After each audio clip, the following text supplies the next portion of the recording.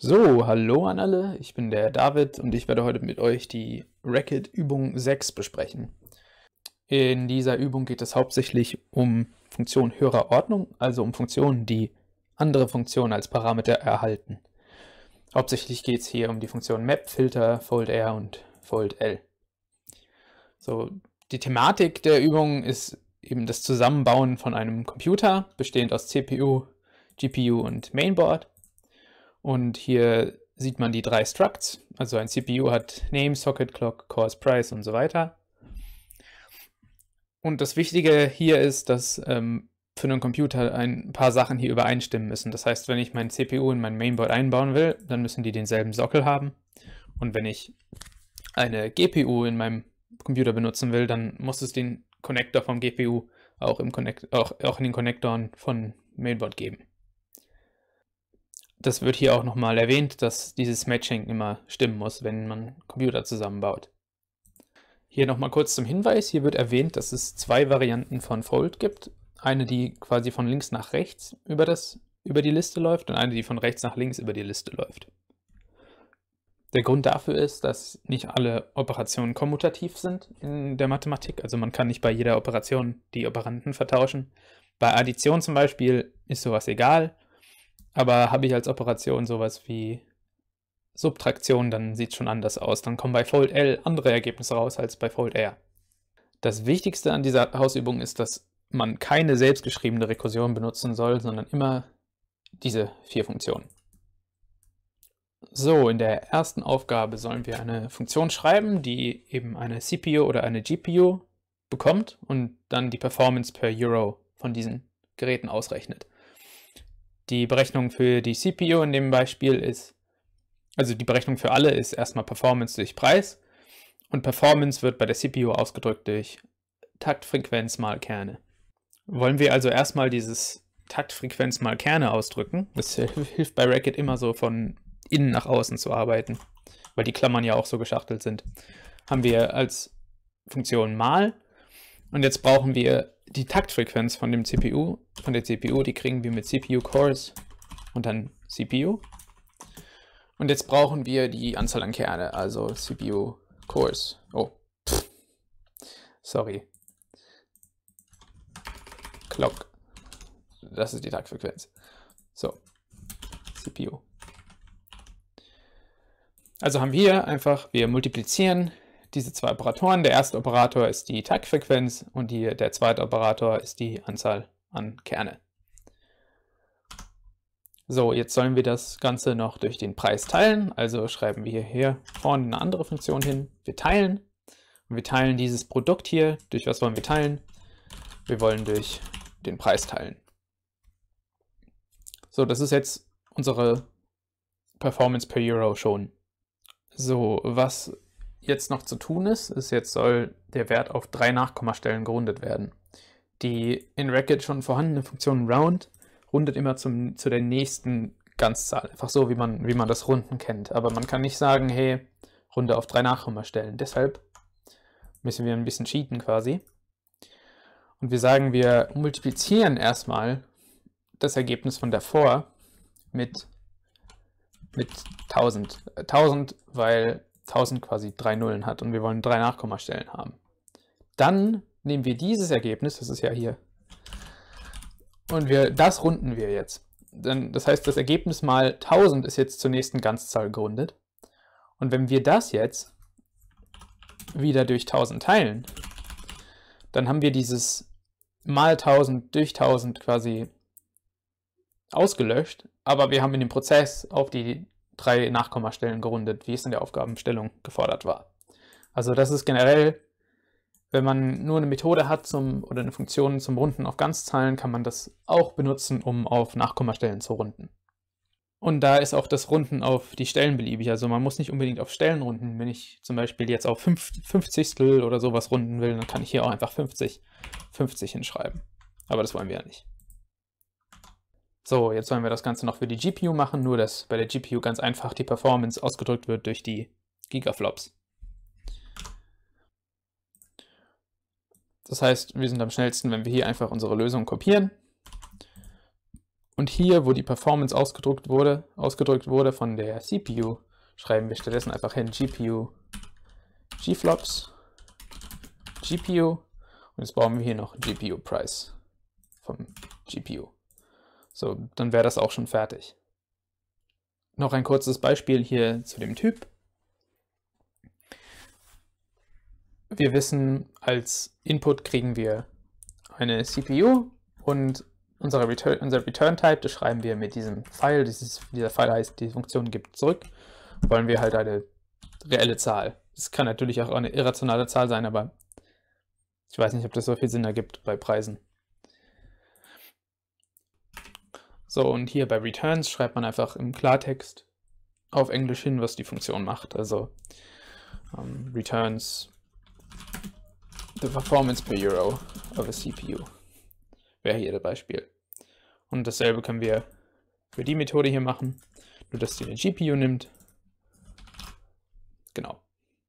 So, in der H2 soll nun die Methode, ich sage die ganze Methode, die Funktion CPU Mainboards implementiert werden. Diese bekommt eine CPU übergeben und eine Liste von Mainboards und soll dann die Mainboards von denen hier zurückgeben, wo die CPU reinpasst, also die mit dem passenden Sockel.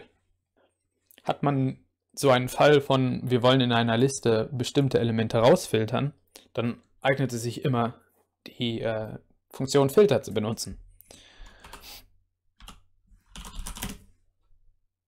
So, Filter bekommt als ersten Parameter die Funktion, die für jedes Element der übergebenen Liste ausgeführt wird. Und dann diese Funktion muss eben ein Boolean zurückgeben und wenn diese Funktion für ein Element true zurückgibt, dann bleibt dieses Element in der Liste und wenn diese Funktion für ein Element false zurückgibt, dann fliegt dieses Element raus. Ich mache mal ein illustratives Beispiel.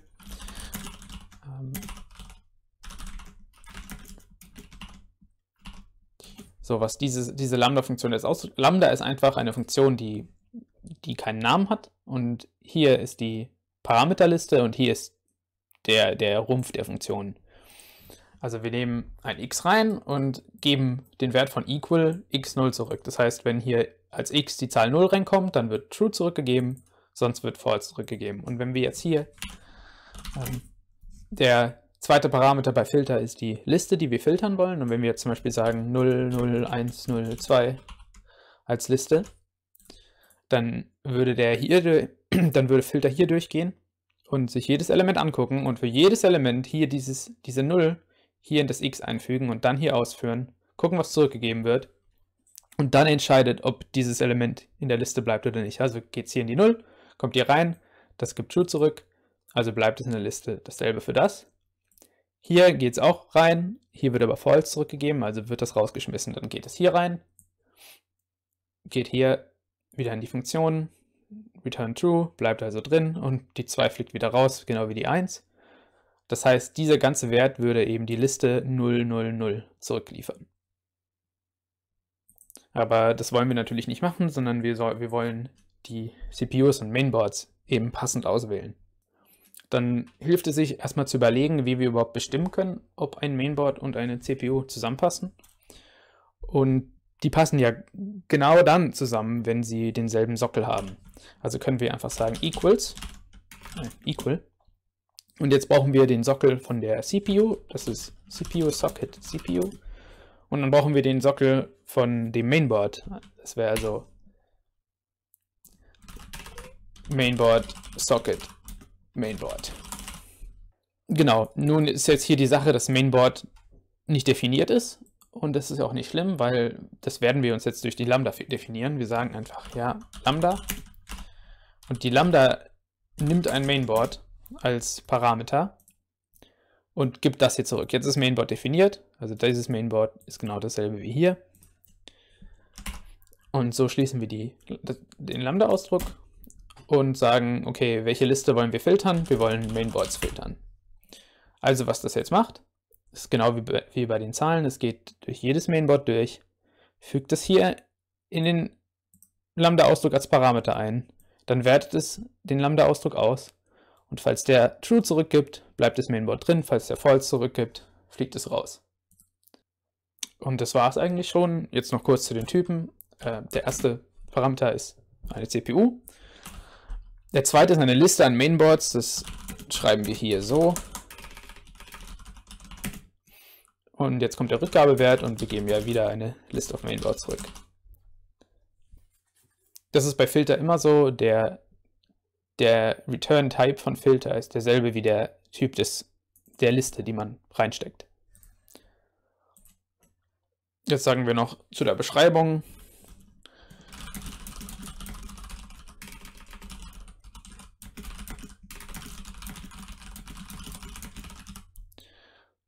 So, sowas wäre doch sprechend. So, als nächstes äh, in der H3 sollen die Funktionen Price und Performance per Euro implementiert werden. Dabei widmen wir uns erstmal der Funktion Price. Also Price ist besonders darin, dass ihr Argument Parts eben entweder eine Liste von Komponenten sein kann oder direkt eine Komponente. Deshalb müssen wir in der Funktion selbst unterscheiden, basierend auf was unser Input ist. Weil wir ja ein, eine Fallunterscheidung machen müssen, eignet sich hier ein if-Block. Also wir sagen if, ein Block ist eigentlich falsch, das ist ja eine Funktion. Und dann kommt als erster Parameter die Bedingung. Unsere unsere Bedingung ist, ob Parts eine Liste ist. Also wir sagen List Fragezeichen gibt quasi True zurück, genau dann, wenn Parts eine Liste ist. Falls das der Fall ist, dann wird hier das erste Statement ausgeführt.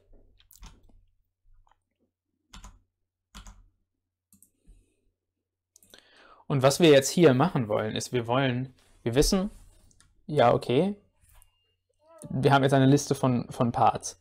Und wir wollen jetzt den Price von jedem Part zusammenaddieren. Und dieses Zusammenaddieren oder Akkumulieren heißt meistens, dass hier eine Art von Fold gefragt ist. Also fangen wir erstmal an.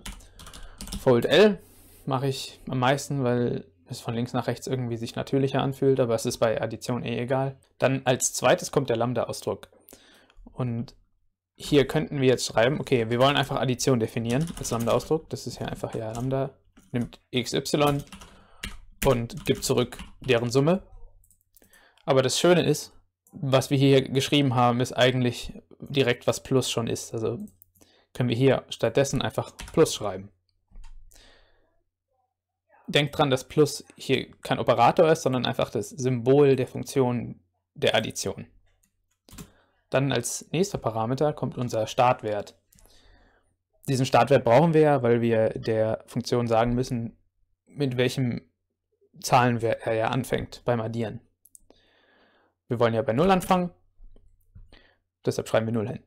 Und jetzt hier kommt die Liste, die wir folden wollen. Und jetzt wollen wir hier ja eine Liste an, an Preisen haben. Aber wir haben ja nur die Parts, deshalb müssen wir jeden Part in dessen Preis umwandeln. Und dieses Umwandeln geht sehr gut mit Map. Also wir sagen Map, dann kommt hier der Lambda-Ausdruck und die Funktion, die wir benutzen wollen, ist wieder Price. Also das ist genau dieselbe Funktion, die wir hier angeben. Und dann kommt hier die Liste, also Parts. Was hier jetzt passiert, ich kann diesen Ausdruck nochmal erklären. Erstmal dieser Ausdruck. Map nimmt jedes Element der übergebenen Liste dann machen wir hier erstmal ein Beispiel, sowas. Und dann steckt das jedes Element in eine Lambda-Funktion rein. Schreiben wir hier auch mal was rein. Beispielsweise sowas. Die hier nimmt einfach ein x und addiert 2 drauf und ergibt es zurück. Und schreibt dann den resultierenden Wert in eine neue Liste rein. Also wir nehmen die 1, tun sie hier rein, nehmen das Ergebnis, also in dem Fall 3, und tun es in eine neue Liste rein an dieselbe Stelle, wo hier die 1 steht. Dann nehmen wir die 2, machen dasselbe. Das heißt, hier würde eine Liste rauskommen, wo drin steht 3, 4, 5. Bei Map ist die Liste immer genau gleich lang. Bei Filter war das anders. Bei Filter kann die Liste auch genau gleich lang sein, wenn Lambda immer True zurückgibt oder sie kann auch empty sein. Geht alles.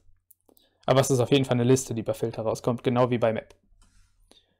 Schreiben wir hier wieder den alten Ausdruck hin.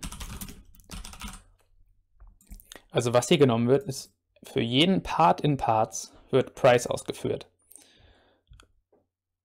Was Price macht, wenn ein einziger Part übergeben wird, das haben wir noch nicht definiert, das kommt gleich. Das ist ja, wenn diese if-Bedingung hier fehlschlägt.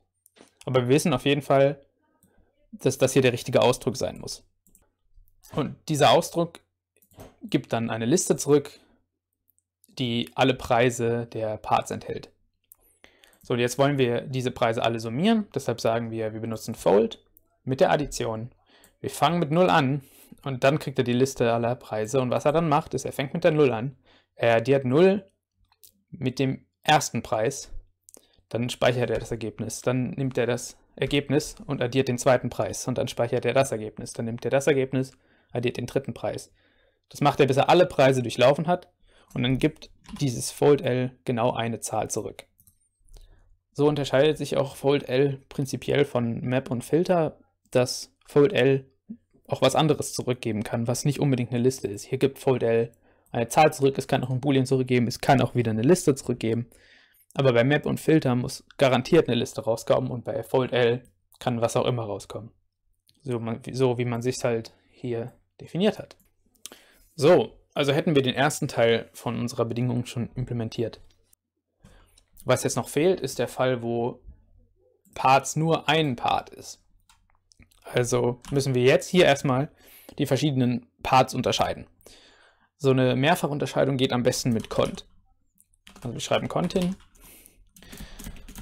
Und jetzt kommt hier eine Liste an Bedingungen. Das ist quasi wie ein if-else, if-else, if-else, if-else Block in Java. Als erstes könnten wir zum Beispiel prüfen, ob wir eine CPU über, übergeben bekommen haben. Also nehmen wir einfach CPU, Fragezeichen, Parts. Also wird das, was ich jetzt hier hinschreibe, ausgeführt und zurückgegeben, genau wenn Parts eine CPU ist. Und was wollen wir zurückgeben? Wir wollen den Preis der CPU zurückgeben. Das geht einfach mit CPU Price, CPU. So, falls das nicht der Fall ist, gehen wir hier in den zweiten if-else-Block quasi, else if. Und jetzt könnten wir prüfen, ob wir eine GPU übergeben bekommen haben. Also fragen wir GPU Parts und dann einfach den Preis von der GPU. So, jetzt kommt der letzte Fall und wir wissen, es gibt ja nur noch einen möglichen Fall und das ist, dass Parts ein Mainboard ist. Also können wir einfach schreiben else und geben hier zurück Mainboard Price Parts.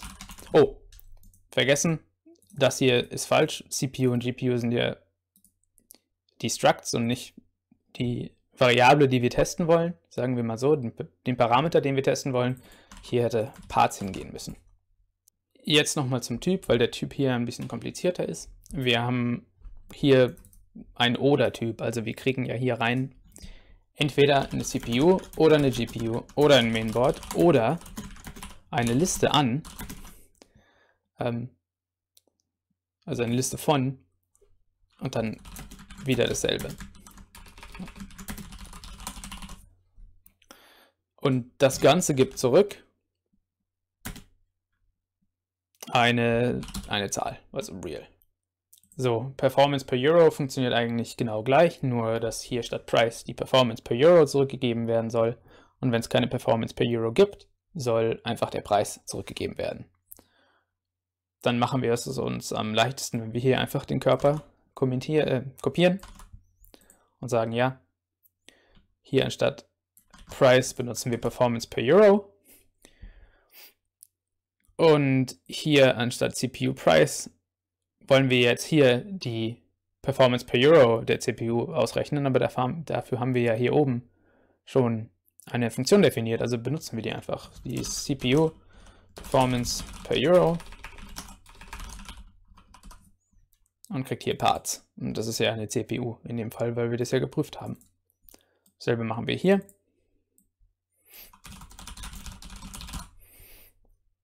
Und diesen letzten Fall können wir gleich lassen, weil wir ja den Preis benutzen sollen, falls es keine Performance per Euro gibt. Fürs Mainboard gibt es ja, ja keine Performance per Euro, weil wir für Mainboard keine Definition von Performance gemacht haben.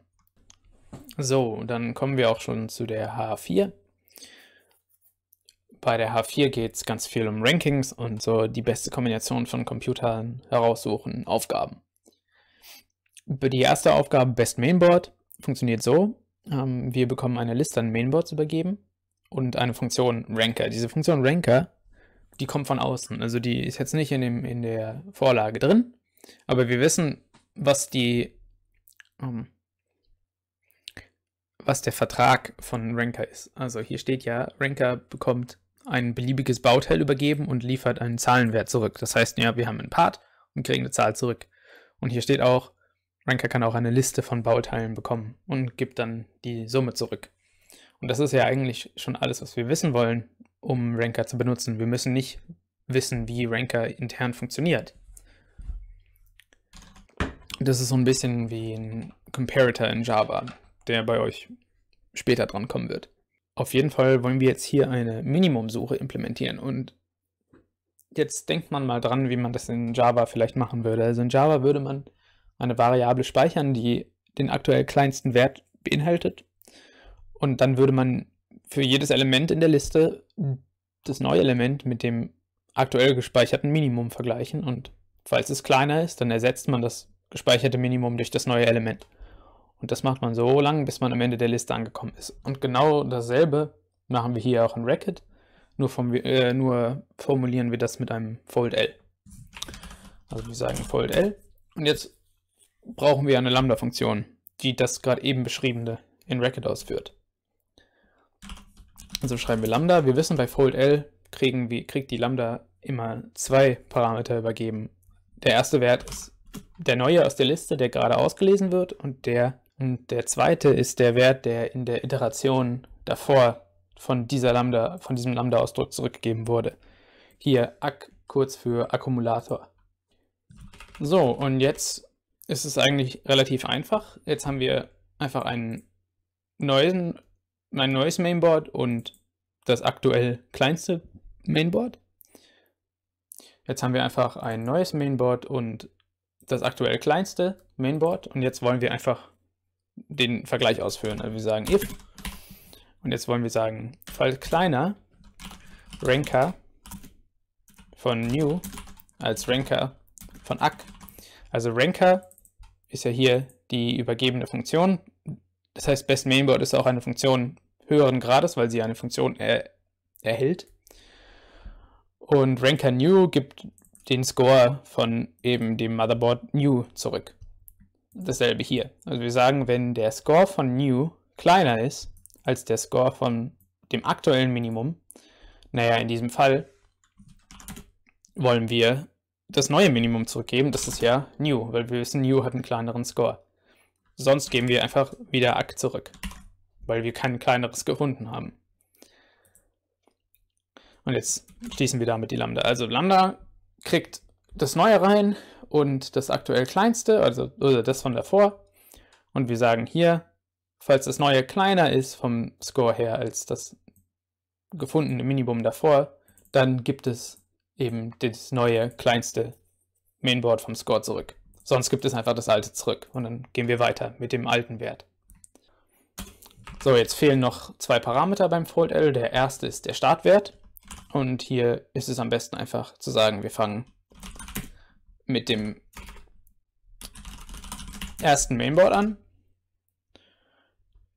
Und jetzt fehlt noch die Liste und da sagen wir einfach, das sind einfach alle anderen Mainboards, die nicht das erste sind. Jetzt könnte man natürlich noch sagen, dass das hier nicht funktioniert, falls Mainboards eine leere Liste ist. Aber dann ist jetzt auch die Frage so, wie man das Minimum von null Elementen definiert. Man könnte natürlich sagen, was oft gemacht wird, ist, dass das Minimum von keinen Elementen unendlich ist. Also würde man hier oben noch so einen Check einführen. Man würde sagen, if, if empty mainboards, dann infinity, sonst gibt diesen das jetzt zurück. Äh, der Grund, warum unendlich zurückgegeben wird, das mag vielleicht erstmal komisch klingen, aber der Grund dafür ist, dass die Definition vom Minimum ist ja die größte Zahl, die kleiner als alle Elemente in der Liste sind. Also sagen wir für 2 und 5 ist das Minimum 2. Das Minimum ist nicht 1, weil das wäre ja nicht die größte Zahl, die kleiner als alle Elemente ist. Also kleiner gleich, sorry. Deshalb ist das Minimum 2. Und die größte Zahl, die kleiner als überhaupt kein Element ist, ist ja einfach die größte Zahl, also unendlich.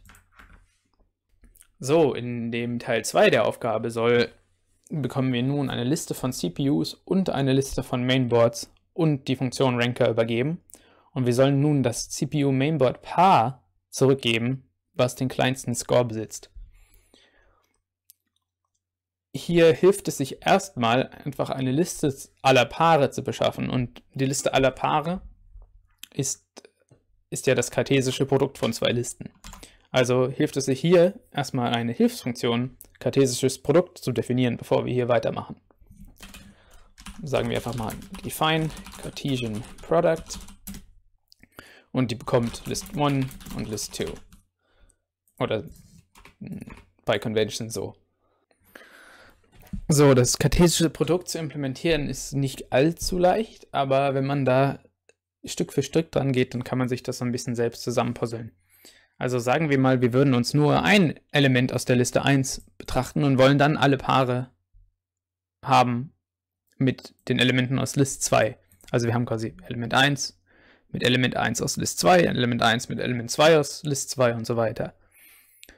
Und da weiß man, dass diese Liste an Paaren eben genauso lang ist wie List 2, weil wir, ja, ich hoffe, das ergibt einigermaßen Sinn. Heißt es, weil wir so einen Fall haben, die Liste ist genau gleich lang, kann man hier gut Map benutzen. Was macht unsere Map? Sie kriegt hier das Lambda und sie gibt zurück, sagen wir jetzt einfach mal kurz, temporär x ist das Element aus Liste 1, was wir gerade betrachten und y ist das aus Liste 2, was wir jetzt gerade reinkriegen. Also wollen wir jetzt hier ein Paar zurückkriegen, äh, zurückgeben und das Paar ist ja einfach Liste xy. Und das machen wir über Liste 2. Also wenn man jetzt mal ignoriert, dass wir x noch nicht haben, sagen wir x ist einfach ein Element aus Liste 1, dann geht Map hier durch jedes Element aus Liste 2 durch und gibt dieser Lambda-Ausdruck gibt für jedes Element aus Liste 2 das Paar zurück, wo der erste Wert x ist und der zweite Wert das aktuell betrachtete Element aus Liste 2. So, das ist jetzt noch nicht ganz vollständig, weil das wollen wir ja jetzt für jedes Element aus Liste 1 machen und wir haben uns dieses x ja noch nicht definiert. Eine Möglichkeit wäre, hier ein zweites Map darum herum zu schreiben, was über alle Elemente in List 1 iteriert. Nun, nur ist das Problem, dass wir dann eben eine Liste an Listen an Paaren hätte, hätten und nicht eine Liste an Paaren, was wir eigentlich haben wollten. Und weil wir uns quasi sowas Neues zusammenfügen wollen, eignet es hier, hier Fold L am besten. Fold L, wir, wir sagen, wir haben hier ein Fold L und wir fangen mit einer leeren Liste an. Das werde ich gleich schreiben. Nehmen dann die ganze List 1 rein. Dann führen wir für jedes Element x aus dieser List 1 das hier aus. Und fügen das dann ans Ende der aktuellen Liste rein. Und dann haben wir am Ende einfach eine Liste an ganz vielen Paaren. Eben das kartesische Produkt. Also was wollen wir hier haben? Wir wollen Lambda haben. Und die Lambda-Funktion nimmt einmal das neue x aus Liste 1 rein und dann die bereits generierte Liste. Was wollen wir dann machen?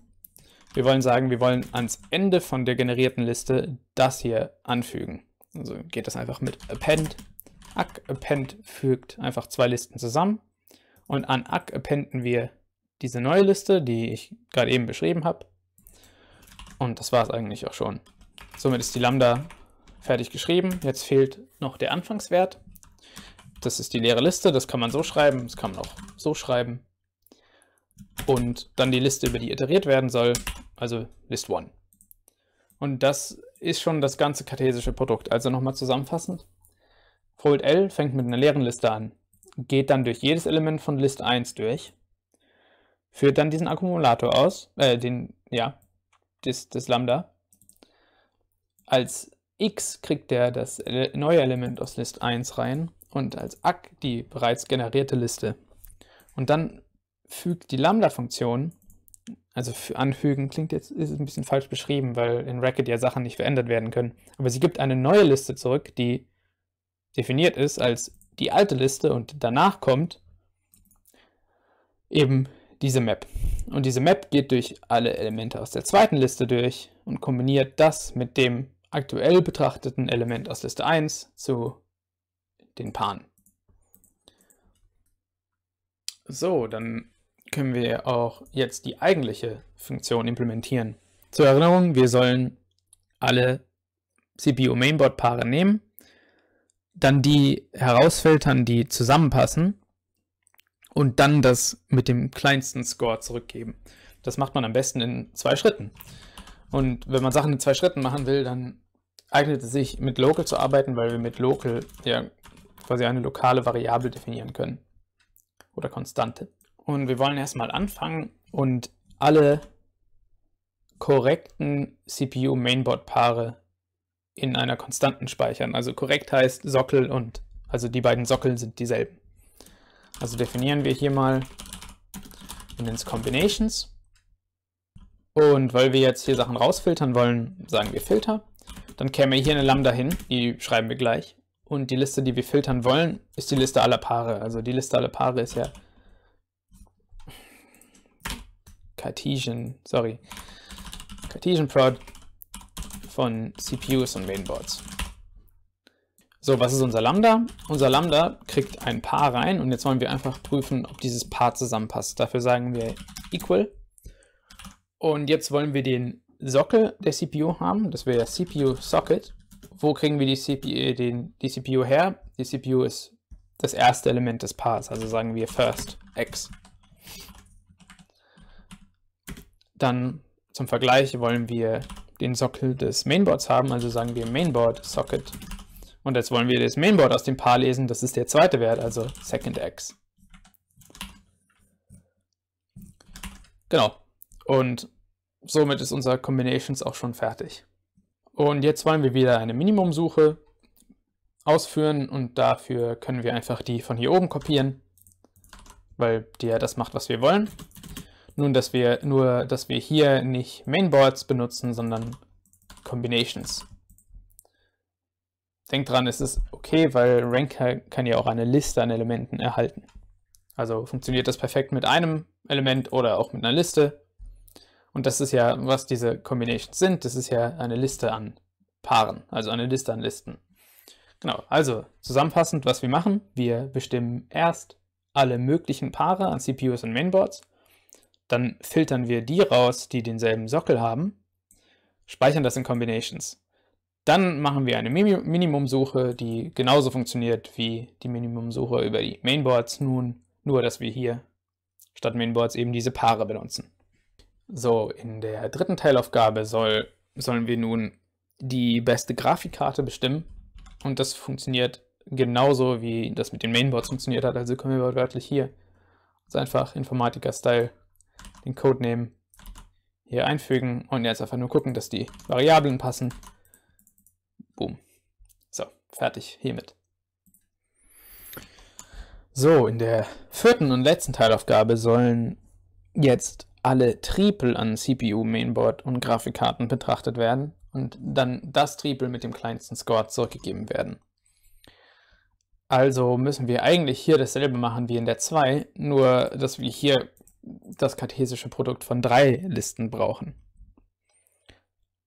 Das klingt erstmal schwer, aber ist relativ einfach, weil wir ja schon das kartesische Produkt von zwei Listen implementiert haben. Wir sagen einfach define Cartesian prod list 1, list 2, list 3. Und jetzt können wir das einfach durch das kartesische Produkt von zwei Listen ausdrücken. Also wir sagen, das ist einfach das kartesische Produkt von, wir sagen einfach, das ist das kartesische Produkt von dem kartesischen Produkt von Liste 1 und Liste 2 und, und Liste 3. Also wir bestimmen erstmal alle Paare aus List 1 und 2. Und dann haben wir eine Liste an Paaren und dann verbinden wir jedes dieser Paare mit jedem Element aus der Liste 3. Und so haben wir eben das kartesische Produkt von drei Elementen. Nur, nur dass es nicht ganz korrekt ist, weil wir ja jetzt quasi geschachtelte Paare rauskriegen. Also wenn wir sagen, wir haben, wir haben das als Paar und kombinieren das mit der Zahl 3, dann ist die resultierende Liste ist, ist ja das hier. Aber das ist ja kein Tripel, sondern das ist ein Paar aus Liste und Zahl. Was wir eigentlich haben wollten, wer haben würden, ist sowas. Also muss quasi diese Liste hier rausgefaltet werden, sodass es nur eine, also dass es keine tiefere, keine geschachtelte Liste ist. Aber weil wir wissen, dass nun jedes Element, was wir hier rauskriegen, so aussieht, nur halt hier xyz, können wir jetzt map benutzen, um jedes Element in dieser Form in diese Form umzuwandeln. Also sagen wir einfach map. Und hier kommt jetzt die Lambda-Funktion rein und kriegt eben, also x steht hier für dieses. Und wir wollen jetzt das zurückgeben. Also Vielleicht ist es ein bisschen verwirrend, weil wir sagen hier oben einfach mal A. So. Also wir wollen eine Liste zurückgeben. Was ist das erste Element? Das erste Element ist das erste Element des ersten Elements. Also dieses erste Element dieser Liste ist das erste Element des ersten Elements dieser Liste. Also sagen wir first, first, A. Dann das zweite Element ist das zweite Element des ersten Elements, also second first a. Und das dritte Element ist einfach das zweite Element der Inputliste. Also sagen wir einfach second a. So, und damit wäre der Lambda-Ausdruck auch schon fertig. Müssen wir den hier noch schließen. Und jetzt haben wir erfolgreich das kartesische Produkt von drei Listen implementiert. Die eigentliche Methode selbst, sorry, Funktion selbst implementieren ist dann ziemlich leicht. Wir nehmen die von hier oben für die Aufgabe 2, kopieren die hier rein. Wir wollen immer noch die Combinations filtern mit den passenden Sockeln. Nur wollen wir nun das Cartesian Pod 3 nehmen von CPUs, Mainboards und GPUs. Den, ähm, die Minimumsuche hier unten müssen wir überhaupt nicht verändern, die kann genau gleich bleiben. Jetzt fehlt uns noch ein Detail und zwar filtern wir hier alle Computer, sage ich mal, zu diesen Tripeln raus, die zwar beim Sockel passen, aber es ist noch nicht garantiert, dass GPU und Mainboard zusammenpassen, weil GPU hat ja eine Anzahl an Konnektoren und Mainboard auch und die müssen mindestens einen selben Konnektor haben, damit man damit einen Computer bauen kann. Also wollen wir jetzt noch eine Hilfsmethode haben, die uns sagt, ob ähm, ein Motherboard und eine Grafikkarte zusammenpassen. Sagen wir einfach mal ähm, GPU, ein Motherboard, Mainboard, fit. Und die kriegt eine Grafikkarte und ein Mainboard übergeben. Und eine relativ leichte Lösung dafür ist, wir sagen, wir gucken uns einfach alle möglichen Kombinationen an Konnektoren an. Dieses alle möglichen Kombin äh, Kombinationen haben wir ja schon geschrieben. Oh, es tut mir leid, komplett vergessen, das hier Cartesian Prod 3 zu nennen. Hier ist es. So, dieses alle mögliche Kombinationen haben wir schon geschrieben. Das ist einfach das normale kartesische Produkt. Das GPU und Mainboard. Nun, dass wir das, wir wollen das halt nicht haben, wir wollen die Konnektoren verbinden. Also sagen wir GPU Connectors, GPU und wir sagen Mainboard, Connectors, Mainboard. Jetzt können wir hier einfach alle Paare behalten, die dieselben, denselben Konnektor haben. Also sagen wir Filter und hier kriegen wir ein Lambda rein, x und was unsere Abfrage ist, ist equal first x, second x. Also zur Erinnerung, x ist ein Paar an zwei Konnektoren und wir wollen einfach die Paare behalten, die, den, die zweimal denselben Konnektor haben. So, jetzt haben wir hier, das gibt eine Liste an allen Paaren zurück, die an allen Konnektorpaaren zurück, die denselben Konnektor haben. Und jetzt müssen wir nur noch prüfen, ob diese Liste nicht leer ist. Also sagen wir not und sagen wir empty. Also falls diese Liste leer ist, also falls diese Liste nicht leer ist, dann gibt das hier false zurück. Aber dann gibt das hier true zurück und das ist genau das, was wir wollen, weil wenn die Liste nicht leer ist, heißt es, dass wir einen passenden Connector gefunden haben. So, dann bauen wir das noch hier unten ein. Jetzt haben wir zwei Bedingungen, nicht nur dieses Equal von den Sockeln. Also brauchen wir hier ein AND. Also wir sagen und. Und wir haben einmal die Bedingung von davor und jetzt wollen wir noch gucken, ob das hier eben passt. Also wir sagen GPU in Mainboard Fit und jetzt übergeben wir einfach die Grafikkarte, das ist Third X und das Mainboard, das wäre Second X.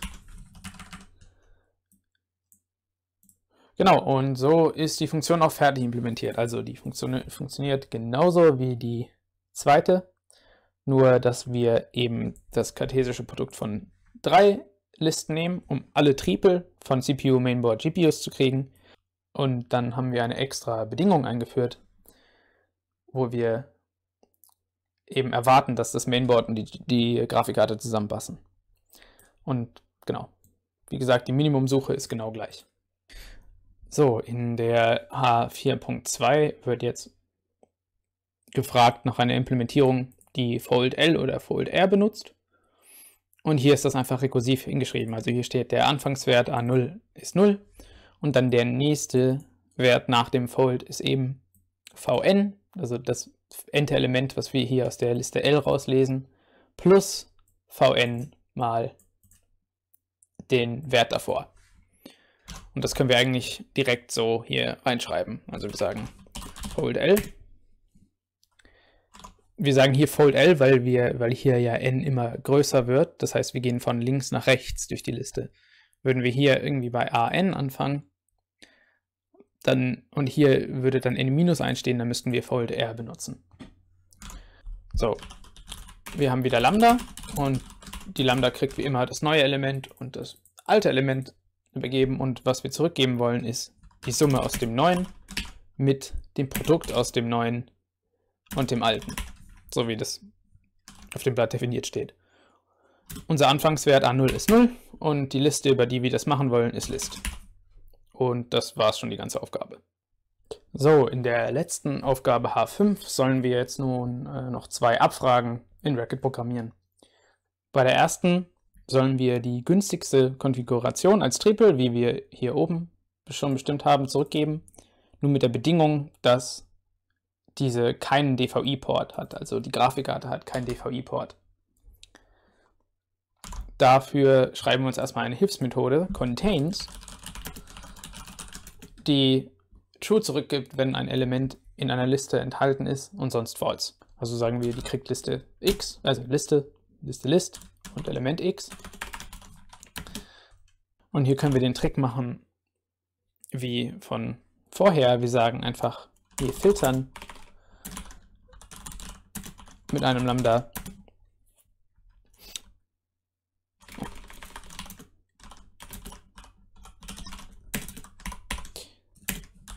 wir filtern mit einem Lambda eben alle Elemente raus, die genau gleich sind. Also für, wir, für jeden, wir nehmen jedes Element aus Liste, stecken das hier rein und falls dieses y dasselbe ist wie x, dann bleibt es in der Liste drin. Jetzt haben wir hier einfach alle Elemente, die x sind und jetzt prüfen wir ganz einfach, ob diese Liste nicht leer ist. Also wir sagen not empty und das war schon unser contains. Jetzt für unseren günstigsten PC. Wir wissen, naja, der günstigste PC wird zurückgeliefert von Best, die Methode, die wir hier oben geschrieben haben. Und wir übergeben die CPUs und die Mainboards. Und das wird hier nicht als Parameter übergeben, sondern die sind die, die hier ganz, ganz, ganz oben definiert sind.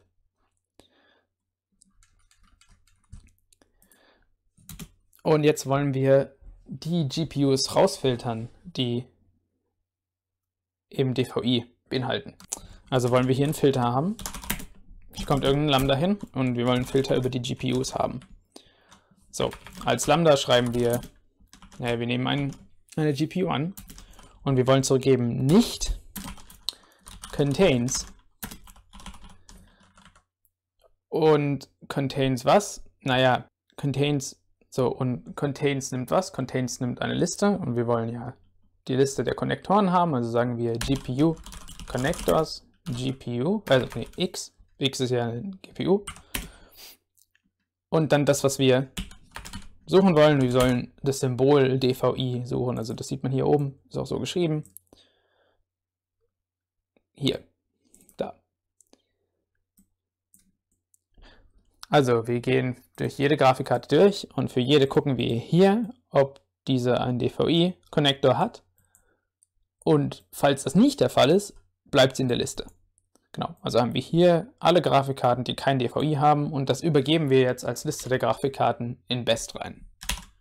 Und das war es auch schon mit der Aufgabe. So, kommen wir zur letzten Aufgabe. Hier sollen wir alle PC-Tripel quasi bestimmen, die eine Mindestanzahl an Kernen haben, also wo die CPU eine Mindestanzahl an Kernen hat und die Grafikkarte mit einer bestimmten Menge an Gigaflops mitkommt. Also fangen wir hier wieder an. Wir sagen best. Und eigentlich würden wir hier schreiben, ja, CPUs, Mainboards, GPUs. Aber jetzt haben wir ja bestimmte Bedingungen für die CPUs und deshalb übergeben wir hier eine gefilterte Version davon. Also sagen wir Filter, ähm, Lambda CPUs und für die Lambda kommt rein. Wir kriegen eine CPU und wir wollen ob sie mindestens so viel Kerne hat. Also sagen wir größer gleich CPU Cores X Cores. Genau. Äh, genau, und so muss die Klammerung aussehen. Also wir haben hier unser Lambda-Ausdruck, bekommt CPU, äh, die Liste an CPUs als Input und führt das hier aus. So, für die Mainboards gibt es keine Anforderungen, also lassen wir hier einfach Mainboards stehen. Und für die GPUs haben wir wieder einen Filter. Also wir sagen Filter, was auch immer von Lambda wir gleich schreiben, GPUs. Und dann kommt hier ein Lambda rein, wir nehmen wieder eine GPU als Input und wir wollen hier, hier ist die Bedingung, eine Mindestanzahl an G-Flops. Also sagen wir größer gleich GPU G-Flops x, oh, G-Flops, G-Flops x G-Flops. Genau, ist die Anforderung dafür. Und das beendet auch die letzte Aufgabe. Und das heißt, das war die ganze Hausübung Racket 6. Ich hoffe, man konnte einigermaßen folgen. Ich fand die Aufgabe beim ersten Mal auch nicht besonders einfach. Diese ganzen Funktionen Map, Filter, Fold scheinen vielleicht am Anfang ein bisschen verwirrend, besonders wenn man sich gerade so an die Rekursion aus Racket gewöhnt hat und jetzt alles in Rekursion schreiben will. Aber wie man sieht, sind die meisten Lösungen eigentlich sehr kurz und das liegt daran, dass diese Funktionen einfach sehr, sehr, sehr hilfreich sind und daher auch ganz häufig im Programmieren, nicht nur in Racket, verwendet werden.